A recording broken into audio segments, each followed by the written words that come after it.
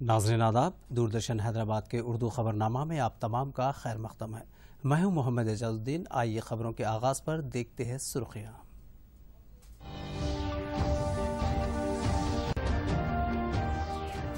रूसी सदर Vladimir Putin को वज़ीर अजम ने फ़ोन पर दी मुबारकबाद। पुतिन ने हिंदुस्तान के साथ रिश्तों को मजीद आगे बढ़ाने का दिलाया यकीन। अकवा मुतहदा में चीन को करना पड़ा हजीमत का सामना।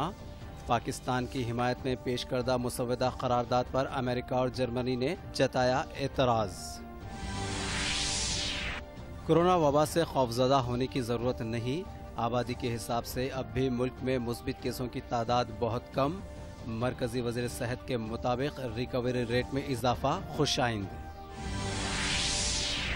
और खानगी दवाखानों में कोरोना मरीजों के इलाज के लिए किए जा रहे हैं इंतज़ाम का ई राजेंद्र ने लिया जायजा। तमाम तरह की तैयारियाँ जल्द से जल्द पूरी करने का दिया हुक्म।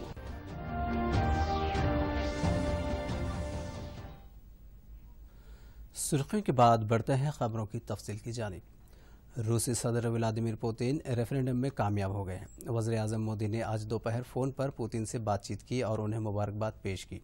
वजर अजम मोदी ने सबसे पहले पुतिन को मुबारकबाद दी है। वजर अजम ने दूसरी जंग अजीम में रूस की फतह की, पचहत्तरवीं सालगिरह की भी मुबारक पेश की। फतेह के जश्न के लिए मास्को में मनद तकरीब में हिंदुस्तानी फौजियों की शिरकत पर दोनों सरबराहान ममलिकत ने बातचीत की और इसे दोनों ममालिक के दरमियान मज़बूत दोस्ताना ताल्लुक का एक मजहर करार दिया। वजारत खारजा की जानब से जारी करदा बयान के मुताबिक पुतिन और मोदी ने कोविड वबा के मनफी असरात और उससे निमटने के मौसर तरीक़ों पर तबादले ख्याल किया। इस दौरान हिंद रूस मज़बूत रिश्तों की ज़रूरत से इतफाक़ किया गया। पुतिन की कामयाबी के बाद अब दोनों मुल्कों के दरमियान ताल्लुक मजीद मुस्तकम होने की उम्मीद की जा रही है।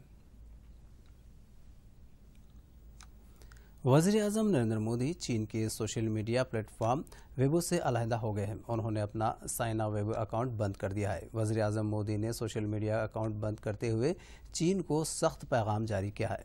माशी महाज पर और शख्सी हैसियत से भी पड़ोसी मुल्क को वार्निंग दी है। याद रहे कि वेबो चीन में ट्विटर के मुमासिल एक सोशल मीडिया प्लेटफॉर्म है।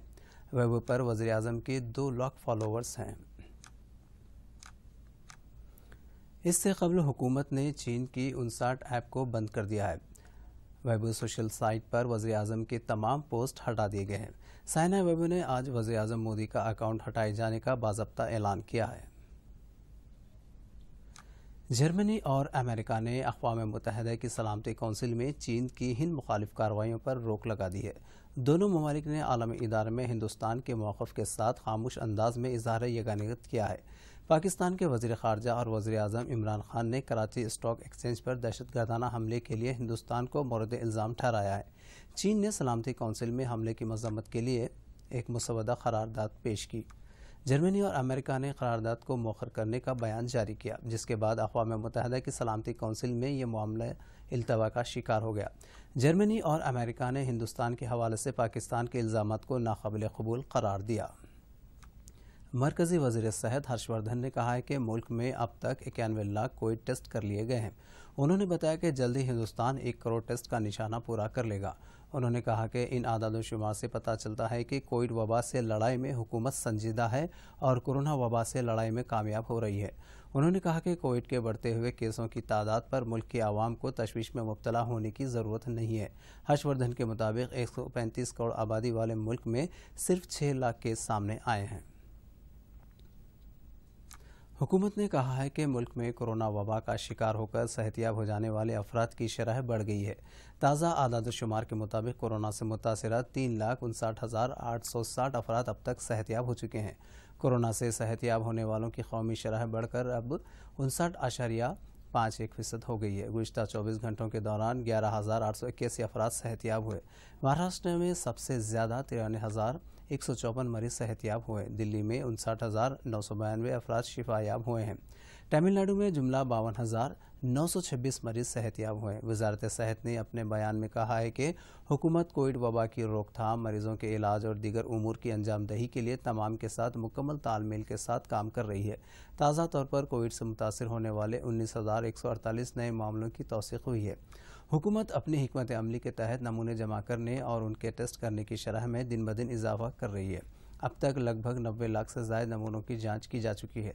ताज़ा तौर पर तकरीबन दो लाख उनतीस हज़ार नमूनों की जाँच की गई। है सात सौ अड़सठ सरकारी लैब्स में कोविड के टेस्ट किए जा रहे हैं। मरकजी वज़ीर फ़रोग इंसानी वसायल रमेश पोखरियाल ने कहा है कि नीट और जे ई ई इम्तहान पर फैसला जुमा को किया जा सकता है। इंजीनियरिंग के जॉइंट इंट्रेंस इम्तहान 18 से 23 जुलाई के दौरान मनद किए जाने हैं। मेडिकल इंट्रेंस इम्तहान नीट भी 26 जुलाई को मनद होने वाला है। ताहम मरकजी वज़ीर ने आज बताया कि तलबा के वालदे ने ट्वीट के ज़रिए इम्तहान नहीं रखने की मांग की है। उन्होंने कहा कि ताज़ा सूरत हाल का जायज़ा लेने और सिफारिशों पर गौर करने के बाद इस ज़िमन में कोई फैसला लिया जाएगा। पूरे मुल्क में तकरीबन 30 लाख तलबा तालिबात इम्तहान को लेकर तजब्जुब का शिकार हैं। रियासती वज़ीर सेहत इटला राजेंद्र ने आज खान की दवाखानों में कोविड मरीजों के इलाज और देखभाल के इंतज़ाम का शख्सी जायजा लिया।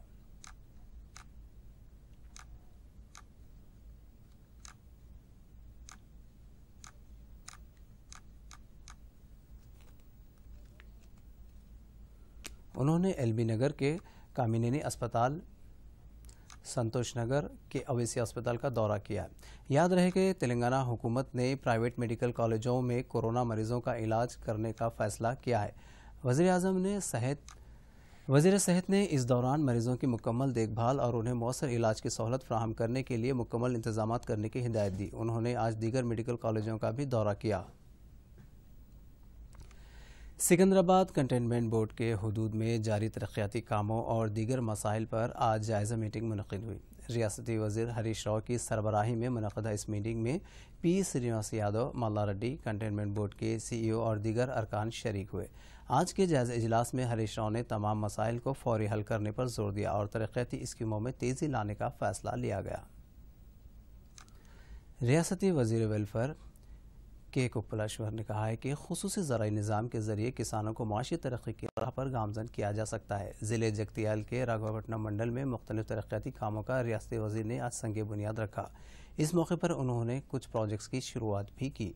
एक तकरीब से खिताब करते हुए उन्होंने कहा कि के सी आर हुकूमत ने अपने छः साल दौर इकतदार में दही इलाकों की तरक्की के लिए बहुत सारे काम किए, जिसकी वजह से नकल मकानी और ख़ुदकशियों की शरह काफ़ी कम हो गई है। बीजेपी के रियासी सदर बंडी संजय कुमार ने वजी अला के चंद्रशेखर राव के खत लिखा है। उन्होंने खलीज ममालिक से मुल्क वापस लौटने के ख्वाहिशमंद तेलंगाना के बाशिंदों के लिए इंतज़ाम करने की मांग की है। उन्होंने कहा है कि हर दिन कम अज़ कम पंद्रह सौ शहरियों को वतन वापस लाया जाए और उन्हें क्वारंटाइन करने के लिए मुनासिब इकदाम किए जाएँ। शहर हैदराबाद के खैरताबाद में गणेश की मूर्ति इस साल 27 फीट की होगी। कोरोना वबा की वजह से खैरताबाद गणेश उत्सव समिति ने गुजशत माह एक फीट की मूर्ति बनाने का फैसला किया था। ताहम श्रद्धालुओं की मांग को देखते हुए मूर्ति के साइज़ में इजाफा का फैसला किया गया। यह मूर्ति गुजरात से लाई जाने वाली मिट्टी से तैयार की जाएगी और इसका विसर्जन हुसैन सागर में नहीं किया जाएगा, बल्कि उसको वहीं पर गला दिया जाएगा।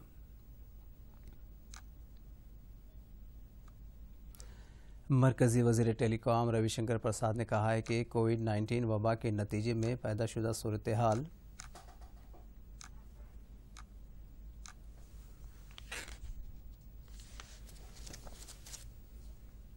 संख्या नहीं बताई है। पैदाशुदा सूरत हाल से निपटने आरोग्य सेतु और ई संजीवनी की तर्ज पर डिजिटल इकदाम काफ़ी कारगर साबित हुए हैं। उन्होंने कहा कि दोनों ऐप से आवाम में शौर बेदारी से काफ़ी मदद मिली है। अगर भारत की ओर उठाकर देखेगा जवाब देना भी जानते हैं। याद करिए, प्रधानमंत्री जी ने क्या कहा? भारत के सैनिकों का शहादत व्यर्थ नहीं जाएगा। जो देश के लिए बलिदान हुए हैं, उनके शहादत को हम नमन करेंगे, वो बेकार नहीं जाएगा। याद है ना आपको, जब उरी हुआ था तो प्रधानमंत्री ने क्या कहा था? कि उरी पर जो हमला हुआ है तो हमारे जवानों का शहीद का बलिदान व्यर्थ नहीं जाएगा। जवाब दिया गया ना, याद है ना आपको? कस के जवाब दिया गया? घुस कर करके कई पाकिस्तान के आतंकवादी कैंप को ध्वस्त किया गया। जब पुलवामा हुआ तो प्रधानमंत्री ने कहा था कि हमारे सेना के जवानों का बलिदान व्यर्थ नहीं जाएगा। तो बालाकोट हुआ था ना, आपको याद है ना? जब प्रधानमंत्री कहते हैं कि हमारे सेना के जवानों का बलिदान व्यर्थ नहीं जाएगा तो देश की सुरक्षा में इसका मतलब होता है, ये बात हम साफ़ साफ़ कहना चाहते हैं। और ये हिम्मत आज की सरकार में है, जिसके नेता हैं नरेंद्र मोदी, जिनकी हिम्मत और साहस सभी जानते हैं। क्या कहूँ आपसे? कांग्रेस पार्टी के लोग रोज सवाल पूछते हैं। तृणमूल कांग्रेस के लोग रोज सवाल पूछते हैं। अरे, इस समय तो देश को एक स्वर में बात करना चाहिए। लेकिन सबसे अधिक बाहर में विषय जाता है कि भारत के अंदर के विरोधी लोग ये सवाल खड़े कर रहे हैं। और यही सवाल बालाकोट के समय भी होता था। याद है राहुल गांधी जी बालाकोट में सेना के शहीदों का सबूत मांग रहे थे, वो कांग्रेस के अध्यक्ष थे। उस तृणमूल कांग्रेस ने ये नहीं कहा कि ये गलत बोल रहे हैं। इसका विरोध करते हैं। उन्होंने भी यही कहा कि सबूत तो मिलना चाहिए। नाजरीन, आज के उर्दू खबरनामा में फ़िलहाल इतना ही। आप देखिए, सुर्खियाँ और मुझे दीजिए इजाज़त। शब खैर।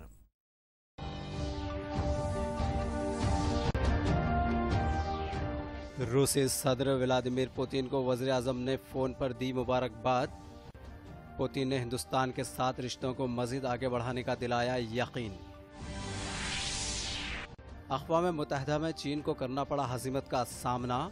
पाकिस्तान की हिमायत में पेश करदा मुसवदा करारदाद पर अमेरिका और जर्मनी ने जताया एतराज़। कोरोना वबा से खौफजदा होने की ज़रूरत नहीं। आबादी के हिसाब से अब भी मुल्क में मुस्बित केसों की तादाद बहुत कम। मरकजी वज़ीर सेहत के मुताबिक रिकवरी रेट में इजाफा, खुश आइंद। और खानगी दवाखानों में कोरोना मरीजों के इलाज के लिए किए जा रहे हैं इंतज़ाम का। ई राजेंद्र ने लिया जायजा। तमाम तरह की तैयारियाँ जल्द से जल्द पूरी करने का दिया हुक्म।